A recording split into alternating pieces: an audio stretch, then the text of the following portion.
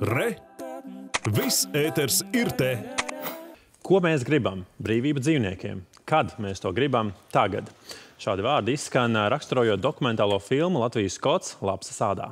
Pirms desmit gadiem kāds dzīvnieku fermā būrī iesprostots lapsēns salauza Katrīnas Krīgeres sirdi, un kopš tā brīža viņa cīnās par kažokzvēru audzēšanas aizliegumu, vadot organizāciju Dzīvnieku brīvība, iefiltrējoties Latvijas dzīvnieku fermās un rīkojot protesta akcijas. Šogad saima lēma par šīs nozares likvidāciju, nosakot 300 tūkstošiem lapsu, ūdeļu un šinšilu likteni. Un par dokumentālo filmu, kas jau šovakar būs skatām Latvijas televīzijā, sarunāsimies ar mūsu kolēģi filmas scenārija autoru Uldi Virziņu. Labrīt. Labrīt, Uldi! Labrīt, kolēģi, labrīt, skatītāji. Es teikšu arī labrīt filmas režisoram. Mēs īstenībā bijām divi režisori, Mārtiņam Jonsonam, kurš šobrīd ir ceļā uz filmēšanu, un es teikšu arī nevis labrīt, bet labdien montāžas režisoram Robertam Pelītim, kurš šobrīd noteikti guļ un skatīsies šo visu ierakstā. Bet skatītāji daudz saka labrīt tev, jo droši vien beidzot ir priecīgi ieraudzīt tevi, ne tikai dzirdēt tavus uh, burvīgos sižetus un stāstus mums rīt panorāmā parasti tik rītu. Bet, nu jā, parunāsim, parunāsim, protams, par šo filmu. Nu, noteikti jau viss sāks ar ideju. Kas tad pamudināja veidot filmu par šo tēmu?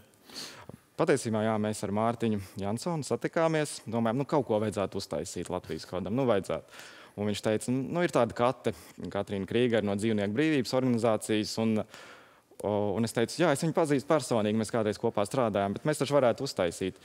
Un tā tas notika. Es uzreiz piezvanīju Katē, un pēc divām dienām mēs jau sākām filmēt. Un viss sākās, un viss notikās.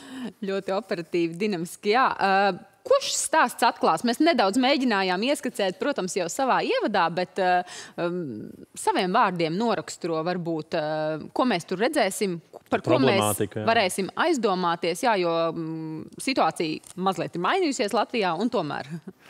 Lai gan tas stāsts sākotnēji varētu šis, ka tā tēma ir diezgan smaga, patiesībā tas būs um, pozitīvs un iedvesmojošs stāsts. Un katra ir unikāla personība, kur jau desmit gadus cīnās par um, to, lai Latvijā tiktu aizliegts audzēt um, lapsas un ūdeles, no kurām pēc tam um, tiek taisīti metālīši. Un viņai tas stāsts sākās uh, ar to, ka viņa bija parasts, parasts cilvēks, strādāja algotu darbu, strādāja mediju jomā un kādā dienā darba dēļ nonāca labs fermā un ieraudzīja, kā tie apstākļi ir patiesībā tur. Un, kā viņa teica, viņa visu nakti nevarēja gulēt. Un domāju, nu kaut kas ir jādara, kaut kas ir jādara. Aizgāja no darba, nodibināja organizāciju Dzīvnieku brīvība, un tad viss sākās. Un patiesībā arī cilvēki domā, ka tādi kažokzvēri kaut kas ir kaut kur tālu, kaut kur Eiropā, varbūt pat ārpus Eiropas tiek audzēti. Bet īsnībā Latvijā ir pat um, līdz 300 tūkstošiem šādu dzīvnieku. Un tas ir aptuveni trīs reizes vairāk nekā iedzīvotāji Daugopilī, vai tas tā ir aptuveni pusi no Rīgas iedzīvotāju skaita. Vai šis stāsts parāda arī to, ka nu, reizēm mums liekas, nu, ko tad es te viens varu mainīt, bet, bet laikam šis ir pierādījums tam, ka ar savu ideju tiešām ejot, tu varbūt sāc kā viens, bet pēc tam jau tās dzirdīgās ausis atrodas. Un, un vai var teikt, ka tie uh, grozījumi likumā arī faktiski ir vismaz daļēji kāds nopelns? Jā, un tas ir apbrīnojami, kā, kā viens cilvēks viņa īstenībā kopā ar savu dzīvesbiedru nodibināja organizāciju desmit gadus iet uz vienu mērķi. Tas ir apbrīnojami, kā tu nenogursti, kā tu Mm. Nesalūsti, vai ne? nesalūsti. Tieši tā, tāpēc, ka ir ļoti daudz šķēršļu, ir gan politiķi iebildumi, sabiedrības domāšana ir jāmaina, ierēģi, valsts ierēģi ir pret šo visu. Mm -hmm. tas, ir, tas nemaz nav tik viegli, un tie piketi un demonstrācijas ir tikai tādi kā svētki lielam, lielam darba rezultātam. Es minēju, ka jāmaina arī sabiedrības domāšana šajā jautājumā. Vai filmā tas arī kaut kur parādīsies, vai tiek atklāts, nu, kāds ir tāds vidējās sabiedrības tas uzskats par šo tēmu? Mēs īstenībā filmā izmantojam arī diezgan daudz arhīvu kadrus, un mēs sekojam tai attīstībai desmit gadu garumā. un Mēs redzam gan to, kā, kā cilvēki iet protestēt, tur iet arī slavenības. Mēs redzam to, kā, kā politiķi ir savulaik domājuši. Tur ir arī stāsts neliela epizode par to, kā Rīgas cirkā tika aizliegt dzīvnieki. Tur mēs varēsim redzēt, ko pirms vairākiem gadiem domāja tagad augstos amatos sēdoši saimnes deputāti. Un ka tā domāšana toreiz bija pilnīgi citādāka nekā tagad. Tagad tas ir pilnīgi normāli, ka cirkā vairs nav dzīvnieku un cirks dzīvo, cirks ir renovēts, restaurēts un viss ir kārtībā. Jā, skaidrs, ka tas vienmēr prasa laiku.